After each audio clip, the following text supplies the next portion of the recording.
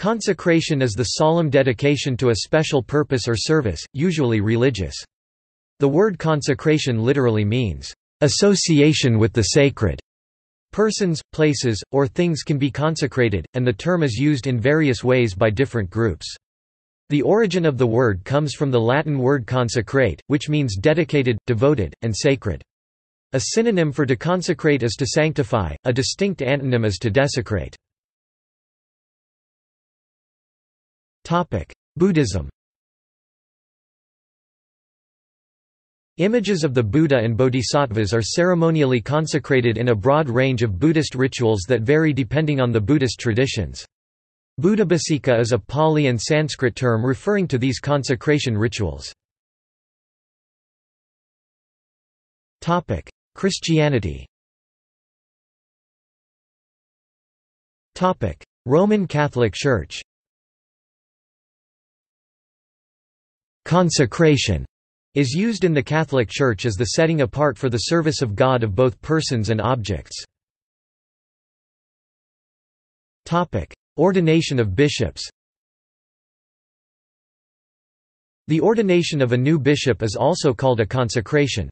While the term, "'episcopal ordination' is now more common, consecration was the preferred term from the Middle Ages through the period including the Second Vatican Council, the 11th of October 1962 to the 8th of December 1965, the Vatican II document Constitution on the Sacred Liturgy n.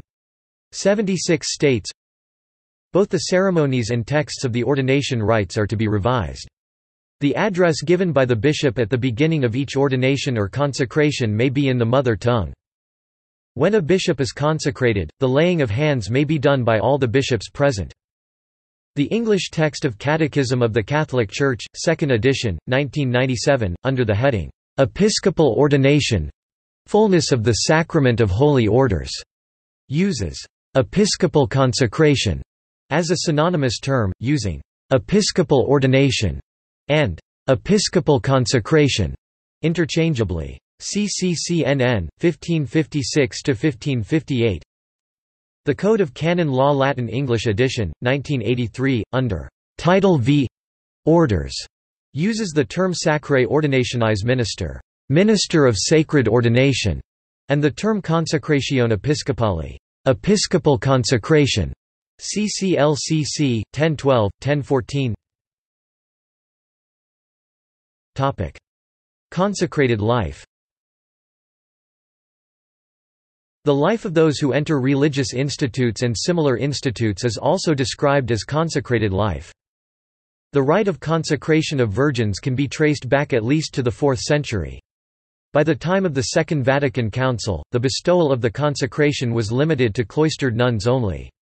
The council directed that this should be revised. Two similar versions were prepared, one for women living in monastic orders, another for consecrated virgins living in the world. An English translation of the rite for those living in the world is available on the website of the United States Association of Consecrated Virgins. Churches, altars, and other ritual objects Chrism, an anointing oil, is usually scented olive oil consecrated by a bishop.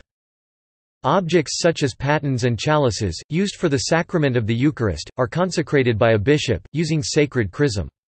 Before a new priest is ordained, the day before there is a vigil and a service or mass at which the ordaining bishop consecrates the ordinands the man or men who are transitional deacons, about to be ordained priests patens and chalices.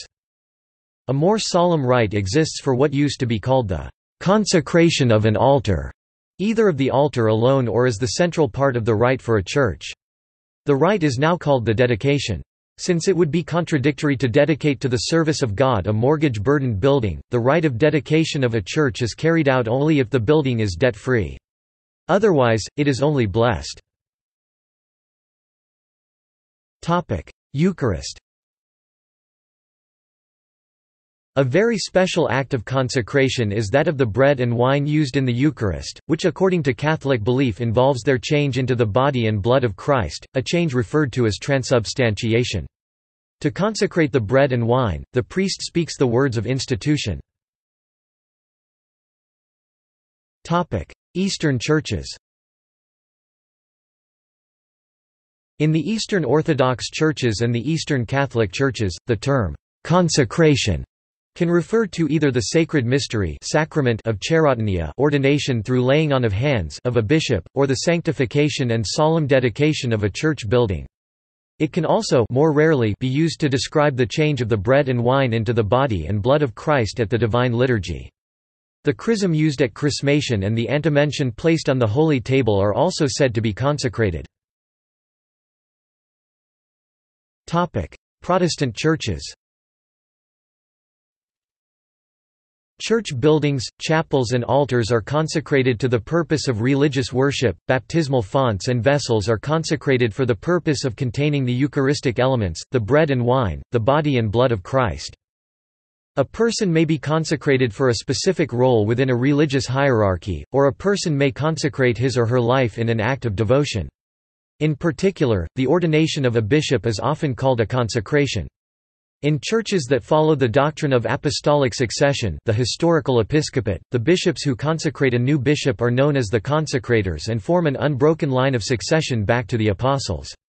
Those who take the vows of religious life are said to be living a consecrated life.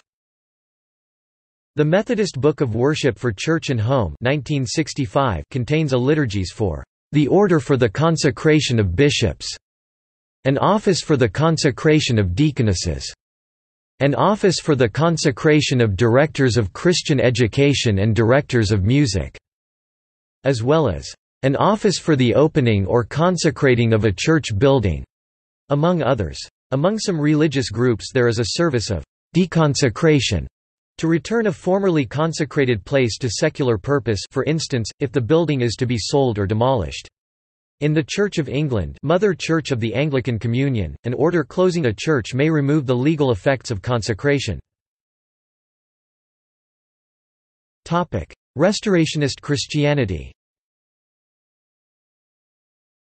Mormon Christianity is replete with consecration doctrine, primarily Christ's title of the Anointed One, signifying his official, authorized and unique role as the savior of mankind from sin and death, and secondarily each individual's opportunity and ultimate responsibility to accept Jesus' will for their life and consecrate themselves to living thereby wholeheartedly.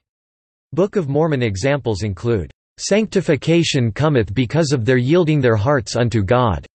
Helaman 335 and Come unto Christ, who is the Holy One of Israel, and partake of his salvation, and the power of his redemption, and offer your whole souls as an offering unto him, and continue in fasting and praying, and endure to the end, and as the Lord liveth ye will be saved." Omni 126. Other restorationist denominations include consecration doctrine as a requirement or opportunity to secure special blessings, expansion and citations needed Hinduism In most South Indian Hindu temples around the world, Kumbhabhishekam, or the temple's consecration ceremony, is done once every 12 years. It is usually done to purify the temple after a renovation or simply done to renew the purity of the temple. Hindus celebrate this event on the consecration date as the witnessing gives a good soul a thousand punya, or good karma. Jainism Panch Kalyanaka Pratishta is a traditional Jain ceremony that consecrates one or more Jain Tirthankara icons with celebration of Panch Kalyanaka five auspicious events. The ceremony is generally held when new Jain temple is erected or new idols are installed in temples. The consecration must be supervised by a religious authority, an acharya or a bhattaraka or a scholar authorized by them. See also. Consecrated Virgin. Cornerstone. Dedication. Nazarite. Vow. Topic. Notes. Topic. Bibliography Service Book of the Holy Orthodox Catholic Apostolic Church, Isabel F. Hapgood Antiochian Orthodox Christian Archdiocese of North America, New York 1975. Orthodox Dogmatic Theology, A Concise Exposition, Protopresbyter Michael Pomazansky tr. Hieromonk Seraphim Rose, St. Herman of Alaska Brotherhood, Platina ca 1984. The Law of God, Archpriest Seraphim Slobodskoy tr. Holy Trinity Monastery, Jordanville, NY 1996.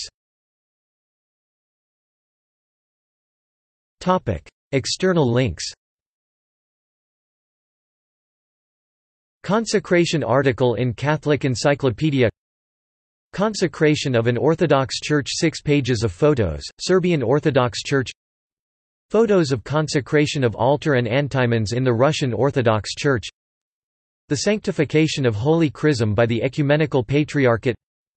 Virginity article in Catholic Encyclopedia discussing consecration of a virgin. Kumbhabhishekam by the modern International Hindu Agamic Cultural Organization